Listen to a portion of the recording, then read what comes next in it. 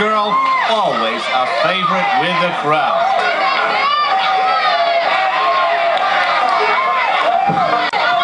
Her opponent, however, is anything but a favorite. Hi, Glow fans, Motormouth Mike Morgan, the Moves and Maneuvers Manual, in the broadcast booth for this grudge match.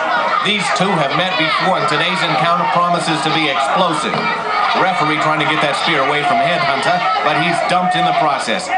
He manages to work Manna over to Aunt Kitty, who takes control of the weapon. And the doll strikes first with a big drop kick. She smashes her with a forearm, trying to stay on top of her, but Manna's power takes over. A test of strength here.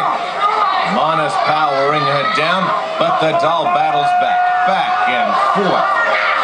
Until Manna ends it with a knee. She sends her into the ropes and goes after her neck. The last time these two met, Manna went after the doll's neck from the beginning, and it seems the leopard hasn't changed her spots. Choking with that tight grip, the referee forces the break. The girl from Malibu, trying to get her breath back. The right on her. Oh, she catches her in a fireman's carry. Showing her off like a hunter's prey.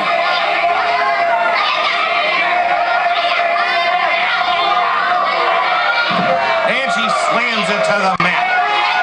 Uh-oh, the doll is hurt.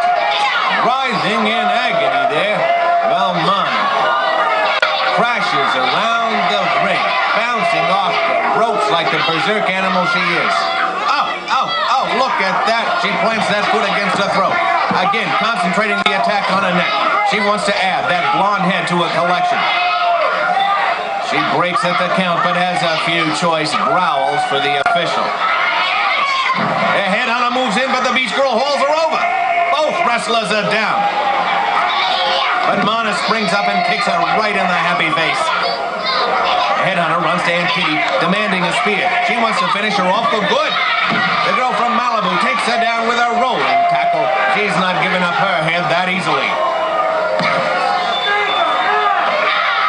a shot to the kidney stuns Manna. The doll's got her win back and adrenaline flowing. She whips her into the ropes and flips her over with a patented Malibu punch. Now she grabs her by the hair and sets her up for a big beer. The Californian is giving the headhunter a civilized beating. She pushes her back. They size each other up and she sends Manna into the ropes again. Doll's going for a fireman's carry, but the headhunter doesn't want to go for the ride. But the beach girl wins out in this struggle, and now she's got Manna hunting for a way out of this hole. Despite her fun-loving appearance, this girl is a strong and tough grappler who can go toe-to-toe with the best of them, and Manna finds that out the hard way. The mat is no substitute for the soft island ground she is used to.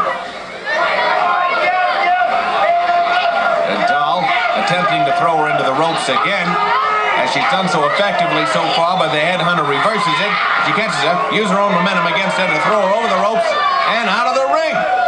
The California doll struggling to get back to her feet and get her bearings.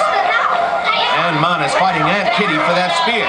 She didn't like that beating she took and she wants to settle things tribal warfare style. She's got the spear and she lashes it into the beach girl's leg. What a wicked blow. She's got her by the hair, waving that spear over her head menacingly. And she brings it down across her throat. The referee calls for the bell. And it's about time. This one needs to go back to the jungle.